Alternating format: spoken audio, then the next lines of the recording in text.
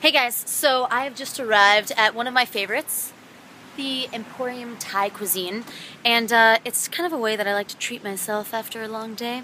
Decided uh, no eating out for me, I am picking up my Thai food, and I will be eating it in the comfort of my own home. But look how cute this place is. It's adorable. Cute little elephant guy.